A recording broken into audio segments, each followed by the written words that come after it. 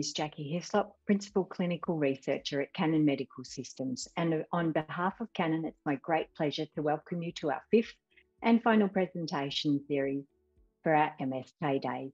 Tonight's session will centre on MSK imaging of conditions that are usually, but not exclusively, centred around ageing, with people living to riper ages than ever before and more being understood about the impact that musculature, bone architecture, and fat deposits have for some diagnosis and treatment quality MSK imaging is more important than ever. So without further ado, it's my great honour to introduce you to our moderator for this evening, Associate Professor Torsten Diekhoff. Professor Diekhoff is the leading senior physician at the Department of Radiology Charité campus in Mitte. We are very pleased to have him here today as the moderator of this session. Professor Diekhoff, thank you for joining Today's session is yours. Thank you very much, uh, Jackie. Uh, good, welcome, ladies and gentlemen, dear colleagues. Um, we have some great talks for you uh, this day. So we have basically two parts of this webinar. The first part will focus on arthritis diagnostic and the second part will focus more on the elderly people. We have also a great list of panelists. We have uh, Dr. Stefan Meng from Vienna, we have Dr. Linda Probyn from Toronto, and also Dr. Um, Tom Maden-Wilkinson from Sheffield uh, with us. And today's webinar will be started by Dr. Meng. He is the um, uh, head of the ultrasound department in the Hanusch Hospital in Vienna and will start with his talk on arthritis diagnostic with ultrasound. Dr. Meng, the stage is yours. Thank you for the introduction. Um, and I will talk about arthritis and ultrasound in daily routine. Um, of course, osteoarthritis is primarily monitored with radiography. Um, but ultrasound can show us the bone surface too. We can see the osteophytes and ultrasound, ultrasound also offers some more features more than radiography like we can see effusion in joints, we can, we can assess the cartilage, and we can see joint capsule vascularization. The question is, what hardware do we need? So of course we need an ultrasound system and there are many probes we can, uh, we could have on that machine. And personally, I, primarily I use this um, probe with 18 megahertz, with up to 18 megahertz, it's a linear probe. But you can also use, um, for example, for the joints at the hand or small joints at the feet. Uh, you can use a hockey stick probe with up to 22 megahertz, or if you have deep lying joints, you can use the probe you usually use for vascular um, problems with 9 to 11 megahertz, uh, also a linear probe. So I'll start with a case. Uh, in this case, we have a 75 year old woman with pain in the medial side of the foot, and this for years. So here you see the radiographs of her feet, and clearly you can see on the right side, in the right image, uh, signs of osteoarthritis, and on the left, left side, you do not see these signs. And what if we put ultrasound here on these joints and on these joints on the symptomatic side, you also see um, the osteophytes, um, and you can see uh, the marked um, joint capsule, and you see other joints which have uh, signs of osteoarthritis too. But additionally, with ultrasound, we can put color Doppler on the joints, and you can see there is no hypervascularization in this joint. And here you can see in the joint capsule hypervascularization also around the joint. So in this case, the pain uh, is due to an osteoarthritis flare-up. Do we have problems with ultrasound? Of course. As you know, ultrasound is strongly uh, examiner dependent. We have deep lying joints uh, where our image quality is not that good as in the hand, for example, and we cannot see all joints in the body with ultrasound. We have the bone barrier, so we cannot see the surface of the bone. We cannot assess the deep bone structure. And some parts of the joint are covered by bone. So although we can assess the quality and the thickness of the cartilage, we cannot see all cartilage in the joint. Some parts are covered by bone. Uh, what about color Doppler? Color Doppler is very helpful if you want to see hypervascularization, but in deep lying joints, we have to adapt the color Doppler frequency. And this in turn will um, have in, has influence on the sensitivity of vessels with a low flow. But what if we don't care about all that? What if we say, still, I want to use ultrasound? So in this example, um, you can see two hands with a lot of changes, a lot of pathology. And then you have the question, what about multiple joints? Do you have enough time to examine all the joints in the same quality and to do a proper documentation so you can um, compare your findings with prior findings or um, save enough images for the next um, follow-up examination. So even if you are very skilled with ultrasound, if you uh, care a lot about your patients, the problem is if you have enough time to do a proper um, examination of all affected joints. So how do we encounter osteoarthritis in daily routine? Mostly the other way around. Patients come with another problem and we find osteoarthritis as a possible reason for the pain. So this is a case of a 50-year-old woman with pain in her distal part of the sole of the foot. And the question uh, in the referral was, is there Morton's neuroma? Is it turf toe? So uh, it's the distal sole of the foot, and this is a longitudinal scan of the MTP2 joint from the plantar side. And on the left, uh, on the left image, you see the uh, symptomatic side, and on the right image, you see the asymptomatic side. And here you can see the osteophytes, um, and this is the reason for the pain in this joint. So the, the answer is it's MTP2 osteoarthritis. In this case, we have a 63-year-old woman with pain in the distal part of the sole of foot again. And the question again was, is it Morton's neuroma? Is it turf toe? So this is the, radio, the, the radiograph of this patient. And um, here you have the position of the ultrasound probe over the painful area. And this is what we see here. It's a bipartite sesamoid bone, and the pain was exactly at this uh, bone in between these two parts of the same bone, of the medial sesamoid bone.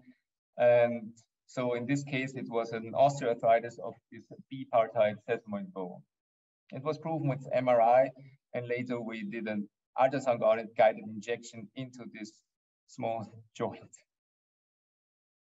In this case, we have a 65 year old woman with pain in her groin. And of course, the question always is, is it inguinal hernia? And here you have two images on, this is the um, symptomatic side and on the right side, you have the asymptomatic side. And here you can see the position of the ultrasound probe and the, the, this curve here is the femur head. And here you can see osteophytes um, at the joint space. And on the asymptomatic side, you don't see these osteophytes. So in this case, it was an impingement. This was the reason for her pain in the groin region. And in um, the type of this impingement is a pincer type because um, when she flexes her uh, hip joint, um, it causes the pain due to the osteophyte. And we also did a um, CT scan to see if, uh, if there are other pathologies and to assess the uh, hip joint. And here on the left side, you can see the symptomatic side, and on the right side, the asymptomatic side. This is a sagittal reconstruction of the CT scan, and you can see the osteophyte here, and here the missing osteophyte. So you can now compare this image quality with the one of ultrasound. In this case, we have a 70-year-old woman with pain in her knee after total two total knee replacements. And the question for the original question for the um, examination was if there was nerve entrapment as a reason for her pain. And here we, we have a longitudinal scan uh, proximal to the patella. You can see the suprapatellar recess and on the asymptomatic side and on the symptomatic side, the right side is the symptomatic side. And here we see there is uh, effusion in the joint. And if we put color Doppler on it, you can see with the same settings for both sides, you can see hypervascularization on the symptomatic side. Uh, and this is a sign for chronic inflammation. And this patient received yet another total knee replacement. And unfortunately, this patient came back now 20, uh, 72 years old um, with pain in her knee after now three total knee replacements. And now the pain is not in the entire knee region, it's only at the medial aspect of the knee. So we looked again and here we have a longitudinal scan, longitudinal scan uh, at the medial part of the knee. You can see on the right half of the image the distal part. Here you can see the uh, reflex from the knee replacement on the tibial side. And here you see the femoral side. And there is a small osteophyte and there is local friction stress on the joint capsule and on the tendons uh, over the osteophyte. Subsequently, this osteophyte was removed surgically. And now what I know is that the patient still has this third knee replacement. Okay, this is another case of a 27-year-old woman with pain in, in her wrist. She has a history of osteoarthritis, and now she has pain. Uh, and the reason for the pain is here is a transversal scan of the back of her hand. And you can see beneath the uh, extensor tendons, a ganglion as, a, as the reason for her pain. And this case highlights the um, advantages of ultrasound because now we can do an ultrasound guided, um, we can ultrasound, with ultrasound, we can guide a uh, cannula into the ganglion and reduce the size of the ganglion and so reduce the pain for the patient. Uh, this is an interesting case of an 80-year-old man. He has pain in, her, in his ankle joint, and he has a history of rheumatoid arthritis. And the question for the examination was if there is a flare-up of this arthritis. So here you see uh, a scan over the of the ankle joint on the medial side. And here, this is the swelling uh, of soft tissue swelling around the joint, not directly at the joint, which is about here. So it's at the medial malleolus. So you see here, there's a lot of swelling. And if you look closely, you can see calcifications in the soft tissue around the joint. And this is clearly a sign of gout. So this poor patient doesn't only have has rheumatoid arthritis, is also gout. And you can see with um, hypervascularization, there is a lot of inflammation. And then we looked around and suddenly we saw this here. This is a defect of the bone surface. So this is a typical sign for an erosion. And we think it's not coming from the, it's not originating from the uh, rheumatoid arthritis. It, in this case, is from the gout. So in summary, um, follow-up staging or monitoring of osteoarthritis is primarily performed by radiography. Uh, we can use ultrasound for osteoarthritis if there are specific problems, if we want to see why specifically there's focal point at, at, at one region or if we want to do an ultrasound guided injection or um, puncture of the of a ganglion. But Uh, the other way, thinking the other way around is would be if you have if you have to scan for other pathologies, think of osteoarthritis too. Thank you for your attention. Thank you very much, uh, Dr. Meng. It was an excellent talk with all those nice ultrasound images. And uh, I think, yes, indeed, it's very important to also think on degener or about degeneration when uh, looking at the peripheral joints. Uh. I will um, now continue uh, with uh, this topic.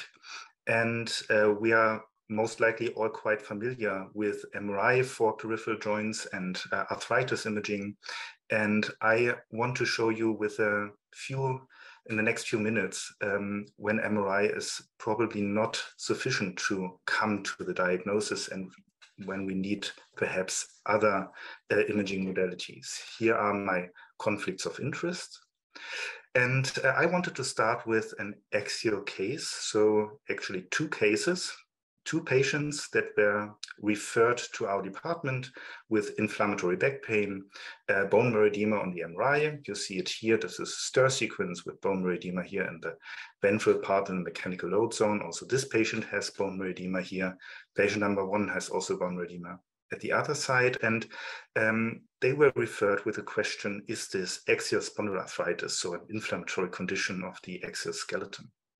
Um, in these MRI scans um, that the patient brought with them uh, was already included a T1 weighted image uh, where you can search for structural lesions and you see the T1 uh, looks quite normal. Perhaps there is a little bit fat metaplasia here, but otherwise you do not see any erosion uh, whatsoever. But when you now look at the CT scan, uh, you see a quite different image. So the first patient has a little bit stenosis, but no erosion of the joint. So the joint space is quite smooth. And um, knowing that this patient was a 40 year old female with uh, already two children, um, we diagnosed the patient with osteitis condensans ilii, which is a degenerative uh, condition of the sacroiliac joint and not an inflammatory arthritis. However, the other patient has erosion of the iliac bone, um, suggesting axial spondyloarthritis and uh, not a mechanical disease. So despite the bone marrow edema being in the mechanical load zone, this patient here was diagnosed with an sacroiliitis.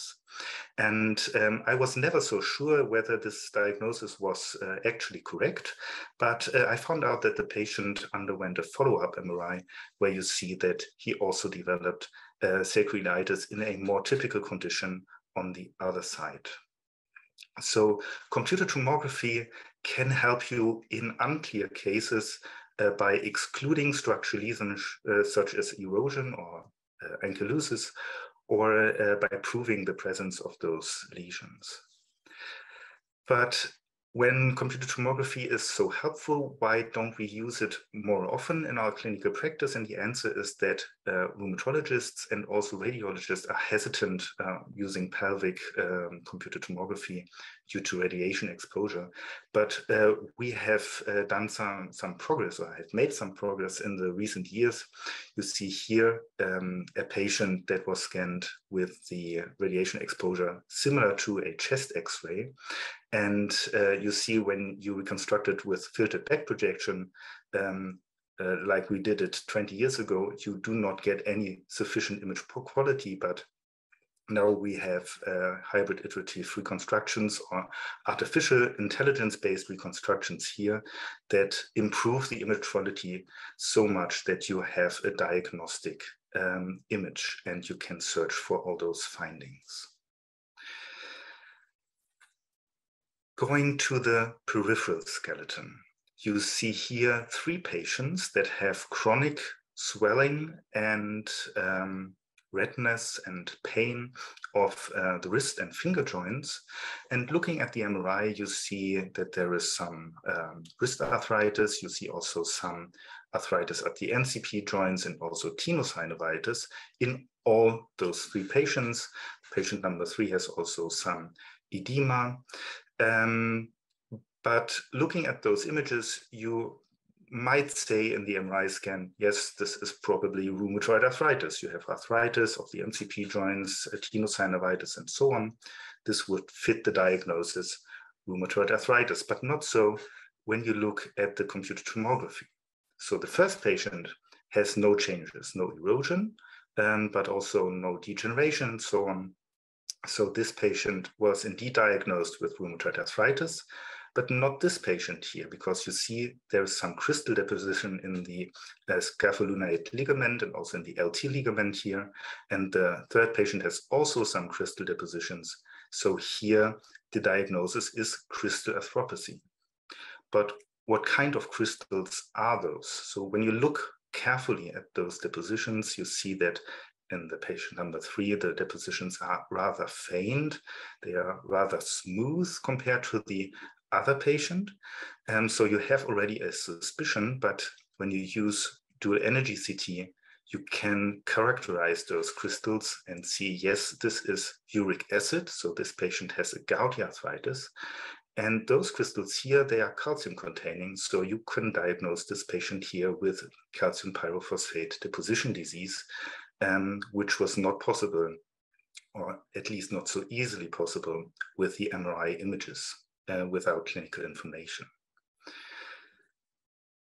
But Dual Energy CT has more information than just color coding tophus, and I want to show this to you in, in uh, this uh, case. So this patient here has um, pain at the big toe.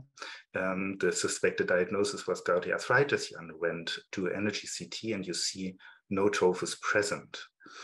But when you reconstruct the CT dataset in virtual non-calcium images, you see that there is, in fact, an increase in the density of the bone marrow here, um, which indicates active inflammation. So this is bone marrow edema of the first metatarsal phalangeal head.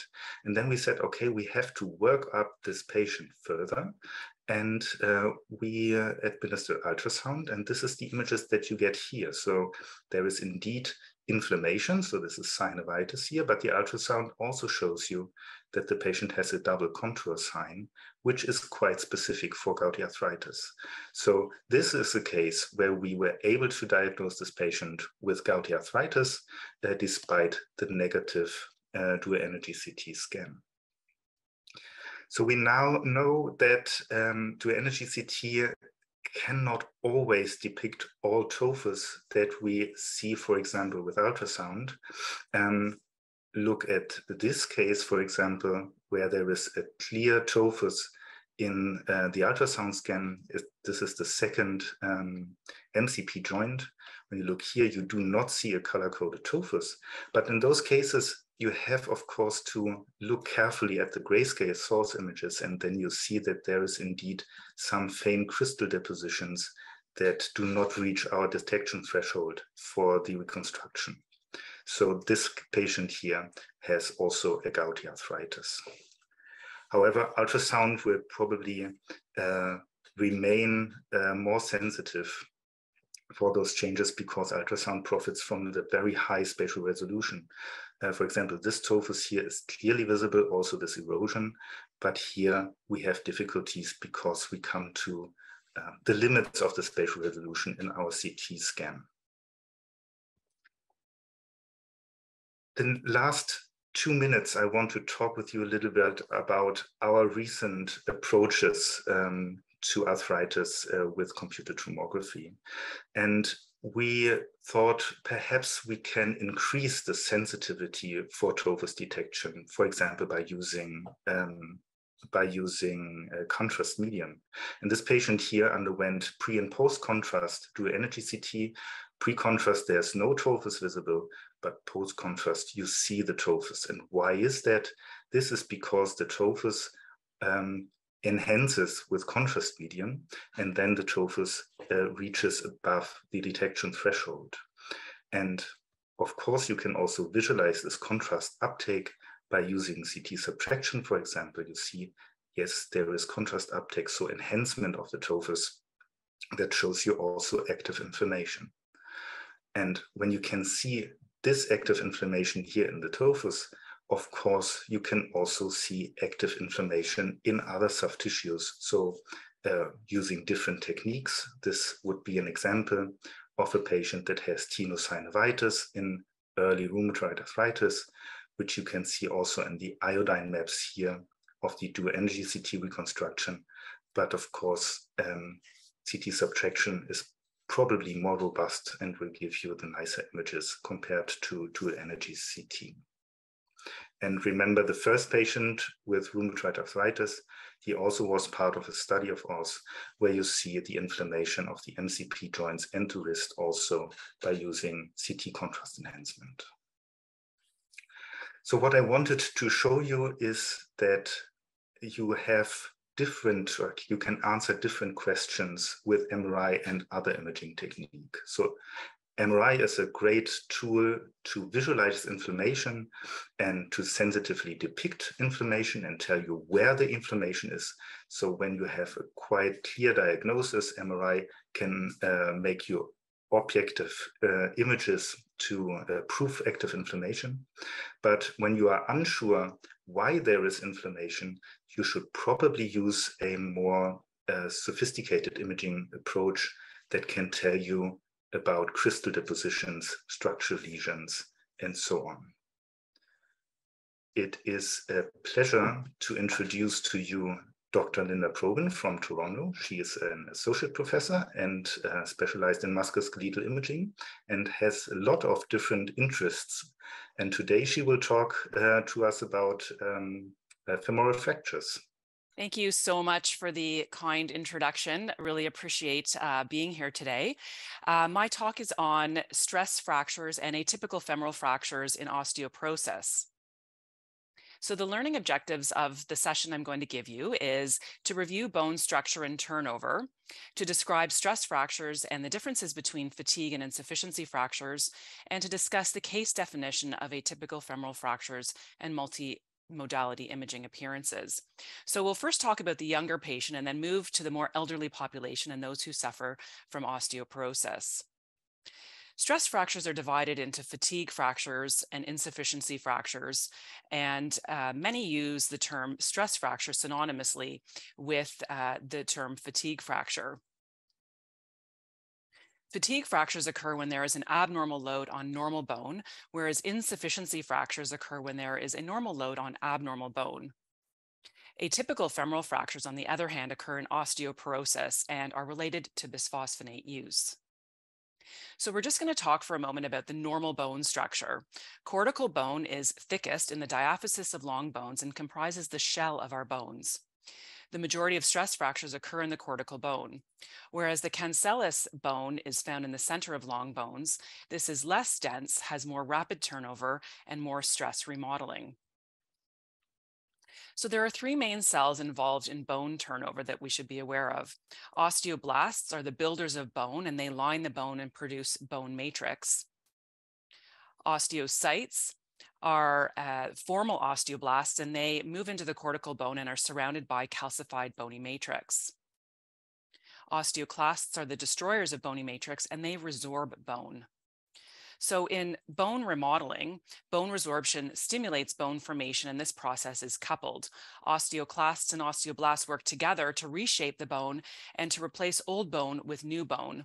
And normally there is a balance between the number and activity of osteoblasts and osteoclasts to ensure that bone is neither overproduced nor overdegraded.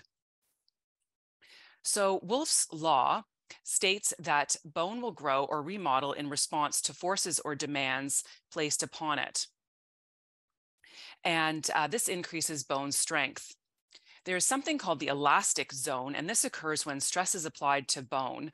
There is some bowing of the bone when stresses are unequal, but the bone returns back to its normal configuration. The plastic zone occurs when there's more significant a stress applied to the bone, and this is too much stress for the bone, and subsequently, microfractures are created. In this situation where microfractures are formed, osteoclasts start to resorb the bone at the site of injury, and this stimulates osteoblastic activity where new bone is deposited. And there is cortical thickening and a subsequent irreversible deformity. If there is further stress applied to the bone, a failure point occurs and there is completion of a fracture. So there are a few important uh, definitions to understand. Stress reaction or response refers to periosteal or endosteal marrow edema without a fracture line, whereas the term stress fracture is typically used if a fracture line is visible, although these can sometimes be difficult to distinguish and there is overlap. Fracture lines are almost always incomplete, and there is rarely more than one site of involvement at a time. So fatigue type stress fractures result from abnormal repetitive load placed upon normal bone.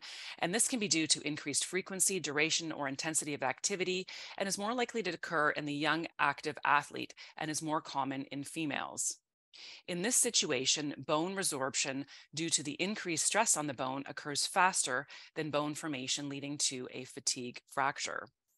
There are many risk fractures that cause fatigue fractures, including a new training regimen, footwear, type of, or surface of the sport played, fitness level, muscle strength, joint, and biomechanical factors. There are many common locations of fatigue fractures, and those that are most commonly seen in females are in the metatarsals and pelvis.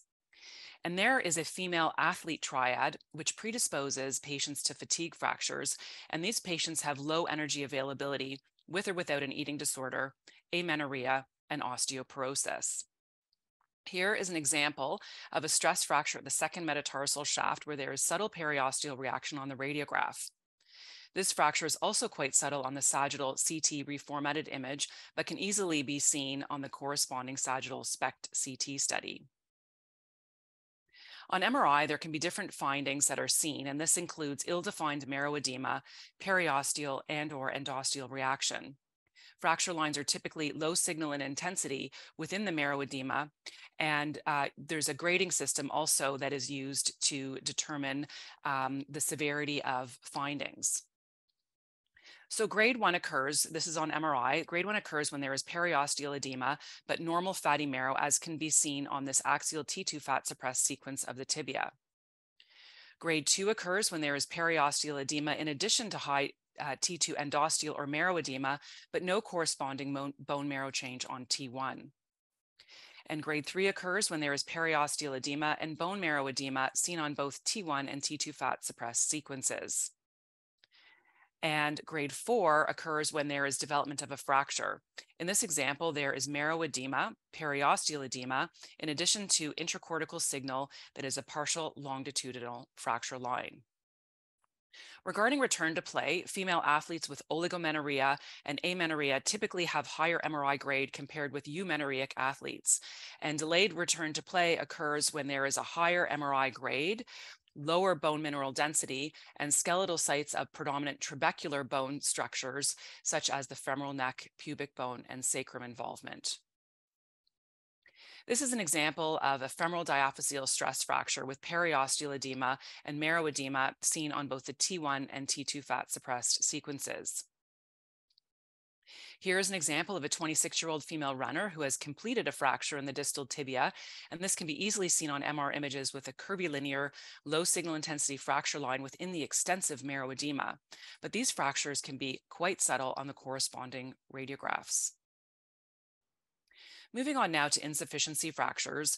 These are the result of normal loading upon abnormal bone. There are many causes of abnormal bone, including disorders of bone homeostasis, the most common being osteoporosis, disorders of bone remodeling, and other causes, including steroid use. In cases of insufficiency fractures, bone resorption outpaces bone formation, leading to the development of abnormal bone structure. The most common sites of insufficiency fracture are in the spine and pelvis. This is the case of a 78 year old postmenopausal female who developed multiple insufficiency fractures in the pelvis and femur, including in the subcapital region, supraacetabular ilium, sacral ala, and medial iliac wings.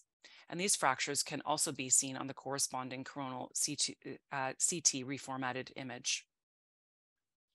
We're going to move on to atypical femoral fractures now. These are related to bisphosphonate use. And bisphosphonates are anti-resorptive drugs used to decrease the risk of osteoporotic fractures. And they are most, the most commonly and widely prescribed osteoporosis drugs in Canada. Bisphosphonates inhibit osteoclast-related bone resorption. Um, and in this instance, uh, there is less bone resorption and therefore less bone formation is stimulated. The prolonged suppression of bone turnover leads to non-healing microcracks in the bone. There's a high risk of atypical femoral fractures with a longer duration of bisphosphonate use, although atypical femoral fractures only account for about 1.1% of total femoral fractures. There is a high prevalence of bisphosphonate use in atypical femoral fractures, but the absolute risk of an atypical femoral fracture with bisphosphonate use is actually quite low. And therefore, the benefit of uh, using bisphosphonates outweighs the risk of an atypical femoral fracture for the treatment of osteoporosis. The American Society of Bone and Mineral Research developed a case definition for atypical femoral fractures, and this was revised in 2014. And this includes four of the five following features. Minimal or no trauma. The fracture line originates at the lateral cortex and is substantially transverse in orientation, although may become oblique as it traverses obliquely across the femur. Complete fractures extend through both cortices and may be associated with a medial spike. Incomplete fractures involve only the lateral cortex. Fractures are typically non-comminuted or minimally comminuted, and there can be localized periosteal thickening of the lateral cortex present at the fracture site demonstrated by beaking or flaring appearance. There are also minor features, which include generalized increase in cortical thickness of the femoral diaphysis, unilateral or bilateral prodromal symptoms such as dull or aching pain in the groin or thigh. Fractures tend to be bilateral incomplete or complete femoral diaphyseal fractures, and these can be bilateral in up to 60% of patients. This study demonstrates um, the location of bilateral femoral fractures, where the majority of atypical femoral fractures uh, that are highlighted in orange occur within a distance of less than five centimeters between the right and the left femoral shafts. And finally, there can be delayed fracture healing of atypical femoral fractures. Excluded in the case definition are fractures of the femoral neck, intertrochanteric fractures, pathologic fractures, and periprosthetic fractures. So we can see uh, atypical femoral fractures on many different imaging modalities. On plain radiographs, we can see these as complete or incomplete fractures. These are also visible on CT as a fracture lucency, and on bone scan, we can see regions of increased uptake. Here's an example of an MRI um, demonstrating an incomplete fracture, which shows lateral cortical beaking and periosteal edema. Because patients undergo DEXA scans to assess for osteoporosis, atypical femoral fractures can be seen on these studies, so one needs to be aware of this. And these fractures can also be seen on ultrasound as subtle beaking of the cortex. And when, then when this is seen, you want to make sure you order a plain radiographic uh, uh, image for correlation. So management of atypical femoral fractures uh, includes stopping the bisphosphonates and putting patients on a drug holiday. Teriparatide is an anabolic agent associated with increased fracture healing, which is often used in the treatment. Weight bearing is limited to avoid progression of an incomplete to a complete fracture, and surgical treatment is required particularly for complete fractures. And due to the delayed healing, there is a higher risk of hardware failure with atypical femoral fractures. It is also important to make sure you image the contralateral femur given the high risk of bilaterality. And we encourage radiologists to include the terminology of an atypical femoral fracture um, associated with bisphosphonate use in their report uh, so that the proper management can be triggered um, by the referring physician. So the take home points for this session are uh, to include remembering that bone resorption and bone formation are coupled. Stress fractures occur when bone resorption occurs faster than bone formation. Fatigue fractures occur when there is abnormal load on normal bone, and insufficiency fractures occur when there is a normal load on abnormal bone. Atypical femoral fractures are due to bisphosphonate use, resulting in a reduction of bone resorption, which results in reduced bone formation. The benefit of bisphosphonate use outweighs the risk of atypical femoral fractures. Make sure to image both femurs in the instances of atypical femoral fractures, and remember that there can be delayed healing and increased hardware failure with these fractures. I thank you so much for your attention and welcome questions at the end. Thank you very much, Linda. That was uh, an excellent uh, talk, a structured uh, talk about this very relevant uh, topic. And it's now my pleasure to uh, welcome Dr. Tom Maden-Wilkinson, who is Associate Professor at Sheffield. And uh, he will talk to you about what we can learn from elite sports imaging for our daily practice, muscle quality and muscle mass. The stage is yours.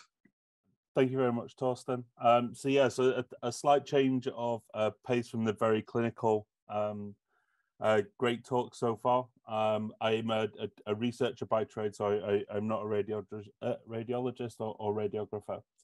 Um, so specifically, a lot of the research that we do in Sheffield is this translation from uh, kind of our elite sport athletes and how we can translate um, that research into our health population. So I'm just going to try and give uh, a few examples of that um, during this talk.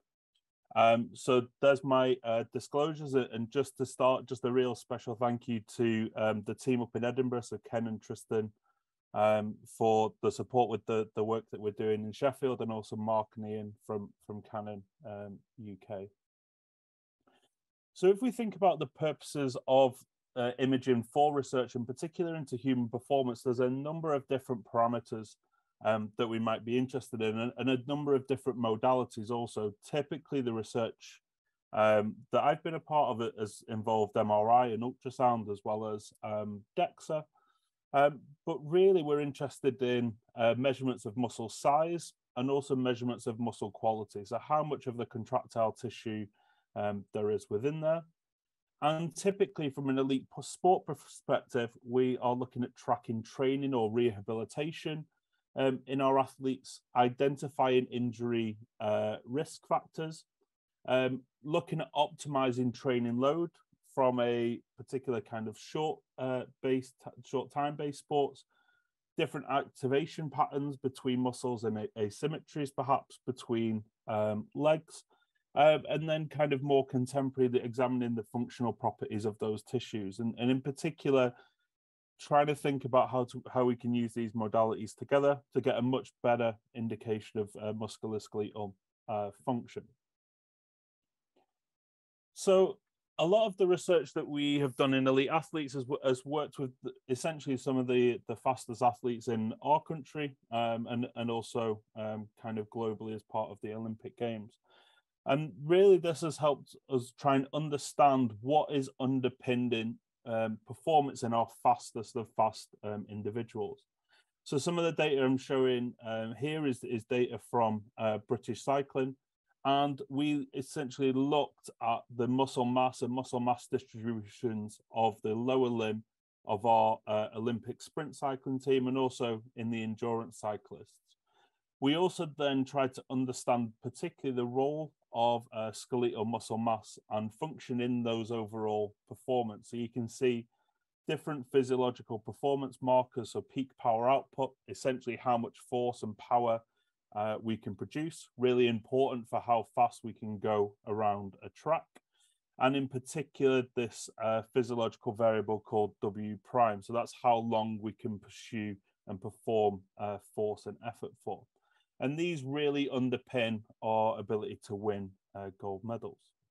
In kind of further research in this vein uh, done at Loughborough University, you can have a look here at really what breaks down um, the difference between our elite sprinters, in this case, kind of sub 10 second sprinters for 100 meters, and then those slightly off the pace. And, and the real thing that they pulled out um, as part of this study was particularly the volume and muscle mass of uh, the glute max um, was the real differentiator between um, those kind of performers.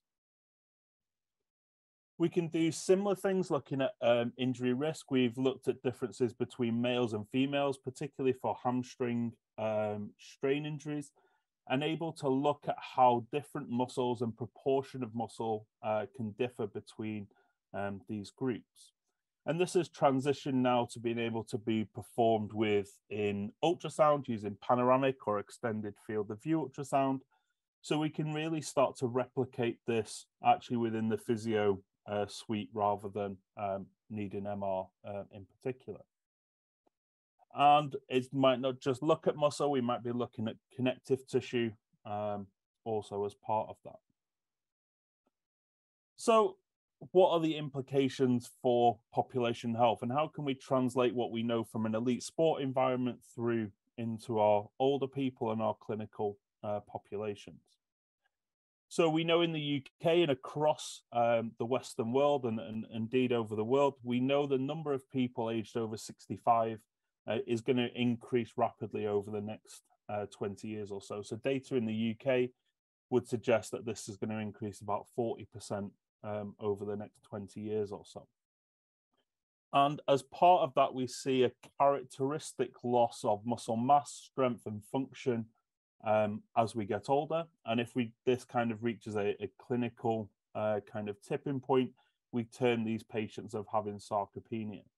And you can see from the survival curve on the on the right hand side of the slide, those people presenting with sarcopenia, so clinically low muscle mass and strength over a three year follow up period, or are kind of more likely to unfortunately die. As part of that, also, is that with that loss of muscle mass, we see an increase in falls risk, a reduction in an individual's uh, mobility and therefore loss of independence. And that has a whole host of knock on effects on that individual's uh, personal life and quality of life.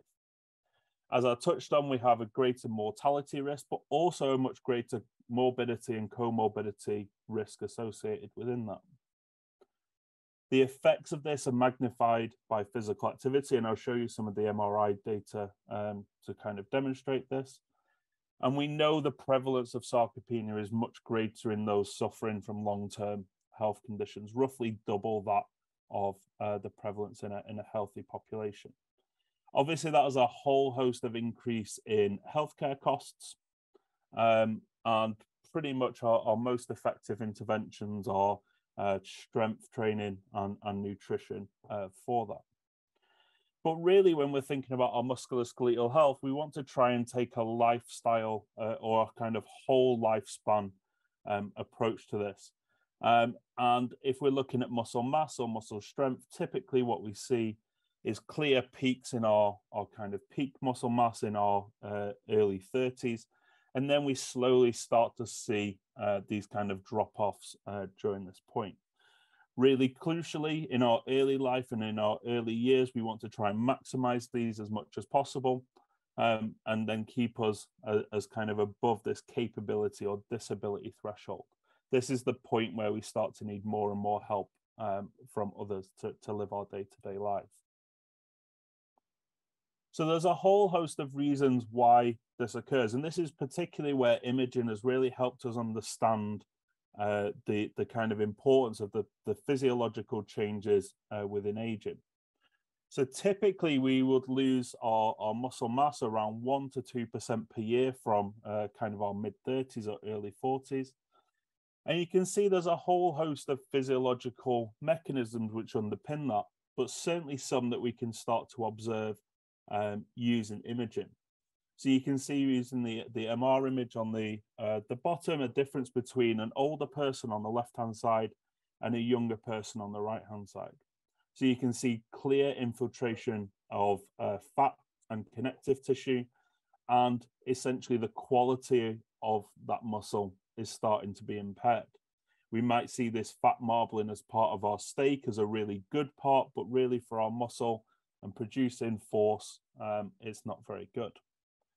We tend to lose our muscle strength and power at a much greater rate, and that is partially due to this loss of muscle mass, but that has its own underpinning uh, mechanisms that sit beyond that as well. And we can use imaging to essentially track uh, these changes over time as part of longitudinal uh, data.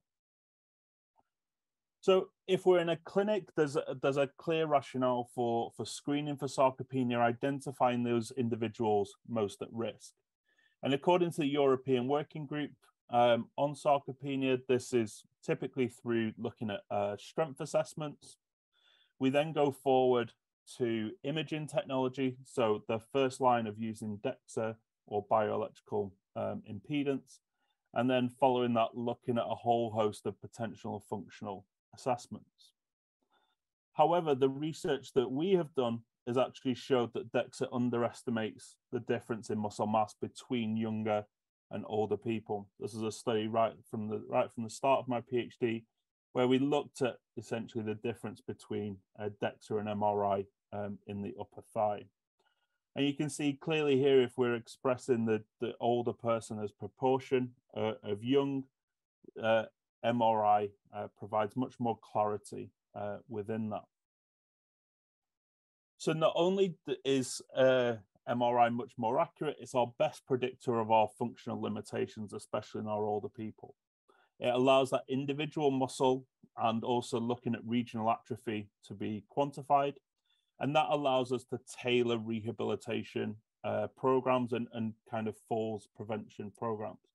In particular, from the imaging studies, we know that the knee extensors, uh, so our quadriceps at the front of the thigh, atrophy to a, a, much greater extent than other muscles. So therefore, we need to preferentially um, look at these. And obviously, as I kind of just pointed out, the MRI is accurate enough to determine those really small changes in muscle volume and fat as part of an intervention study. And to kind of really bring that home of, of why, in particular, we're not just looking at muscle mass, but muscle quality, you can see real differences here in the role of kind of being physically active.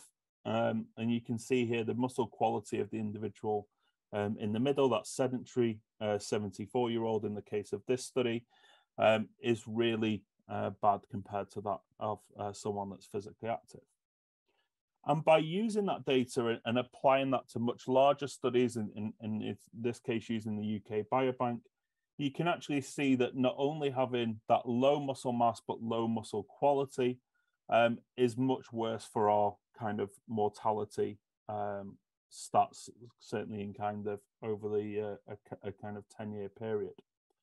So having low muscle volume, but also having an adverse muscle composition, so that increase in fat infiltration um, is is really bad um, for us. So how can we take that actually into our hospital models, into our clinical um, suites? Now, some of the work that we've been doing and, and kind of others that have been pioneering this have looked at using uh, measures of muscle area and muscle quality, in particular from the psoas muscle.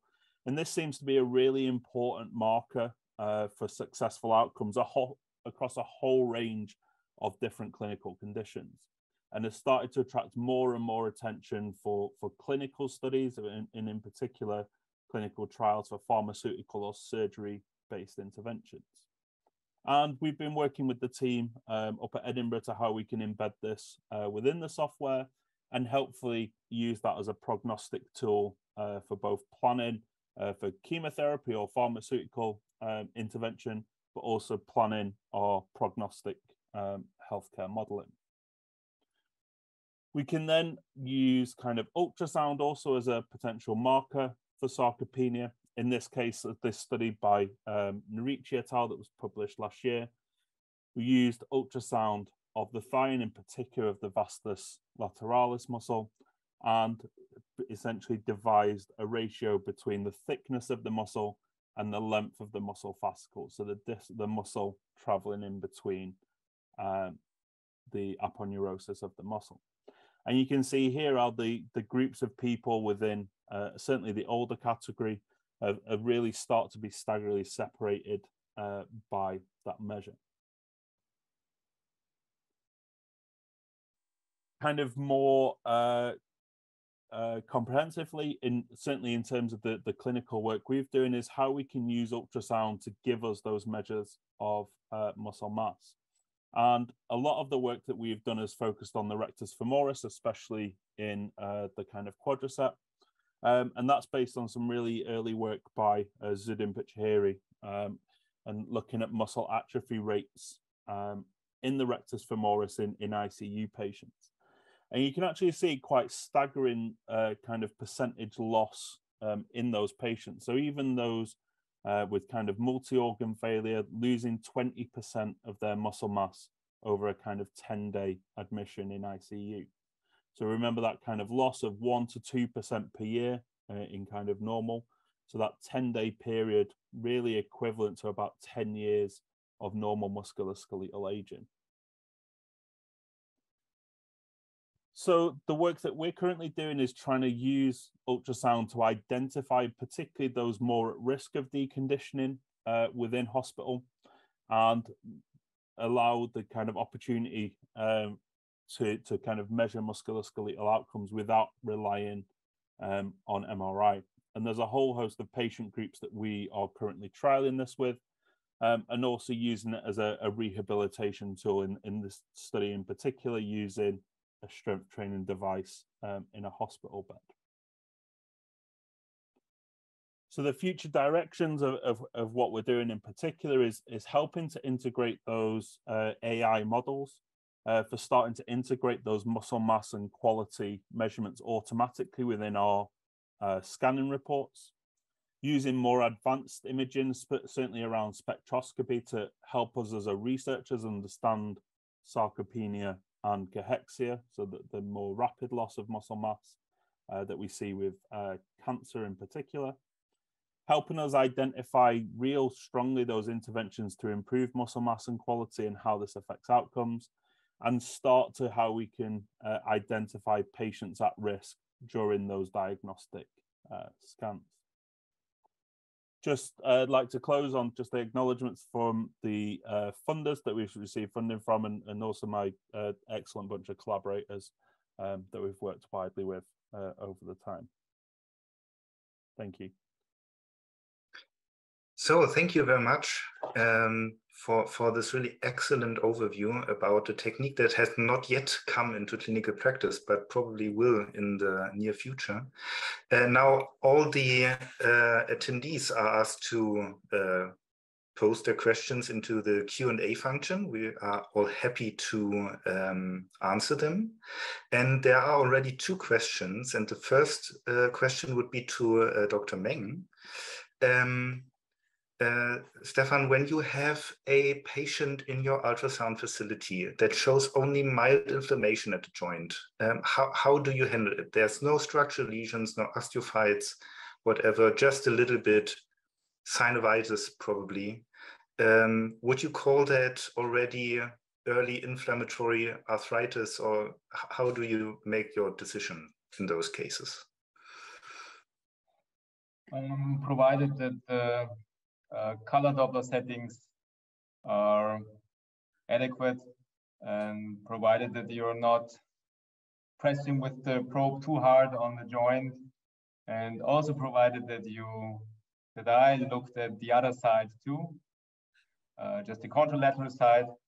And if it's a true finding, if it's on one side, on the painful side, on the symptomatic side, I would describe in my report, of course, yes.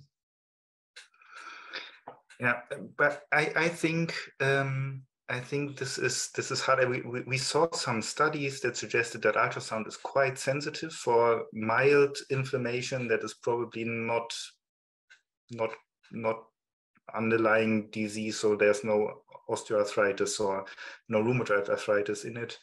Uh, just like like MRI, perhaps not so much as MRI. Um, so we have all those studies that show MRI also in healthy healthy conditions has some some uh, contrast enhancement and so. Uh, but probably ultrasound when you have no no structural lesions, you have to be quite sure. So the clinical conditions should be should be pointing towards an inflammatory disease. Yeah. Okay, um, there's another question to you. Um, what's about SMI? Uh, do you use SMI in your daily practice or do you rely on power Doppler or color Doppler ultrasound? Of course, I use SMI. The question of uh, question, the problem with uh, SMI is um, I use it most of the time to get um, acquainted to the to the settings, and the settings are not always the same de depending on the on the side of the joint uh, depending on the depth uh, on and uh, but it's very very sensitive um, probably the problem you you addressed before that there are too many uh, false positive cases could be with SMI, but I use it regularly, yes. Uh, not only for joints, but also for lymph nodes and all the things. Sure. I think it also shows you, especially in lymph nodes, it shows you the structure of vascularization more clearly than just just the conventional um, Doppler techniques. That's that's of course true. So, um, oh, there are lots of questions coming uh, already. So, um, all right. So there's a question for uh, Tom. Uh, some patients, when they are undergoing lumbar uh, spine MRI, um, some patients show fatty atrophy of the muscles. Um, uh, what, what would you suggest uh, should we do with this finding? Uh, does it correlate with any clinical outcomes or pain or something? Should we report that? That's, that's the main basis, basis of the question. Should we report the muscles in our daily routine um, when we see such a finding, especially if it's a musculoskeletal uh, exam? Yeah, so, so certainly from a, a, a, muscle researcher point of view, I, I, I am absolutely certain about the importance of certainly of muscle and muscle quality um, underpinning those clinical signs. There's a depending on the clinical group, there's a really strong correlations with length of stay in hospital, uh, mortality risk over kind of 12 months um, in those patients um, as well as kind of rehabilitation potential. Um, also, in terms from cancer patients, looking at uh, chemotoxicity um, and chemo fatigue um, in particular. Um, so I, I, I think it, it will slowly work its way into uh, clinical practice as being something that's incorporated. And would you, in, in case you have a conventional cancer staging uh, CT, for example, and you see that there is muscle atrophy, uh, would you recommend that we already now report that, or is there much more research to be done before uh, we should put it into our clinical routine? Yeah, so I, I think that the research is um, is catching up. It obviously takes a long time, um, but certainly the the kind of use of real world data um, is is only kind of speeding that up. So um, certainly for the the trust that we've worked with in the UK, we're starting to try and put that into clinical practice. Okay, gotcha. So, and is there is there any recommendations for which muscles uh, do you assess, or is uh, how do you choose your muscles uh, for your study? So there's a question: Why do not use the biceps brachii, for example? Uh, yeah. so, so often from a, a, research perspective, we are interested in the, the quadriceps or the knee extensors, mostly because they are one of the kind of biggest groups for atrophy, along with the, the kind of uh, muscles of the, the lower limb, uh, but also the kind of underpinning role within kind of locomotion and also activities of daily living. Um, the real reason the kind of psoas has been chosen is just because of the wealth of data from uh, kind of abdomen scans. Um, it seems to be a, a, good clinical marker. There hasn't been any data done around if we can change psoas muscle area, for example, does that change clinical outcome? But certainly from a cross-sectional point of view, it seems to be representative of skeletal muscle mass of the whole body. Yeah, sure. It's uh, definitely more convenient for opportunistic screening. Huh? So the yeah. biceps, it's uh, often not depicted in our uh, routine exams. Um, Linda, I have probably a question uh, for you. Um, when you have a normal conventional x-ray and you suspect a stress fracture or an insufficiency fracture, um, you have a normal normal x-ray, what is your next go-to modality? You showed us some nuclear medicine exams and also uh, MRI. What what is the pros, pros and cons so mm -hmm. uh, of those different techniques? Yeah, so thanks for the question. It might depend on some some um, variables, for example, patient age um, and accessibility to different types of imaging that may be at your center. Um, typically, for us, we would we will often go to an MRI. Um, we have it relatively easily accessible, um, so that is is often what we will go to. Um, however, some may choose to go to bone scan, and it kind of just depends on also uh, the the physicians that are requesting them. So some of our physicians will request CTs, for example, but I find that I showed that example where on a regular CT, it can be quite subtle. So whereas on MRI, it's really much better picked up. So our go-to is typically MRI if, if we can get them in fast enough to do that. And, and what is your opinion uh, about those new sequences uh, for direct bone imaging in MRI? So, for example, UTE or ZTE, or uh, also AI reconstructions uh, for CT-like images. Is this of any help in this uh, question? Yeah, I think it will be more and more as time goes on. I think we're still learning about it. It's pretty early. Um, and we're just um, getting familiar with some of that and how we can use it. So I would have to say it's not something that we've incorporated yet into our daily practice for this. So we would typically still do just a regular MR, but we're, we're playing with it. Like, uh, so I think that in the future, yes, that will be, and we'll do some fast sequences and we'll be able to answer the question, you know, doing a pretty short and quick MR um, and maybe with the MRCT um, correlation, I think is where we're headed. Okay, thank you so much. So there's already a question that you are typing in. Perhaps you just want to answer it live now. Yeah, sure. I was in the middle of typing that, so I shall just uh, respond to that. So that the question is about um, uh, X-ray and CT, and are there any studies to show correlation between osteoporosis and bone lucency? Is there good practice to call bones osteoporotic from a normal X-ray? And I, uh, what I was uh, about to um, uh, answer there was that it's not really reliable. We can often visually tell that there's, you know, the bones are osteo penic per se, but it's really not reliable. You really need to do DEXA or um, nuclear medicine studies to really determine, um, you know, where they are at if, if it's osteopenia or osteoporosis, which, which would direct the correct management. So hesitation to call um, it on uh, bone scan and CT, um, although I know it's something we can visibly see. It also depends on the parameters of the imaging. Sometimes the imaging that the X-ray is done poorly and it looks like it's um, more osteopenic uh, than it really truly is. So just you have to be cautious cautious about that. Okay, thank you very much. And I think the last question you are already answering, uh, Tom. Uh, just take the opportunity live and uh, answer it. Yeah, so from a um, from a research point of view, we, we're mainly looking at pennation angle um, as an expression of physiological cross-sectional area. So theoretically, what underpins how strong um, a muscle is, how much force we can produce uh, from that.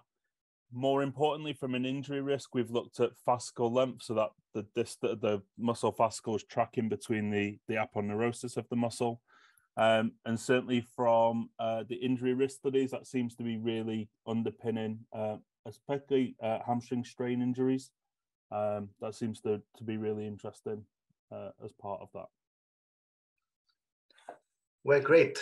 Thank you so much. This was the last question of the last day of the MSK series from Canon, and I hand over to Jackie Hislop, who will close the session.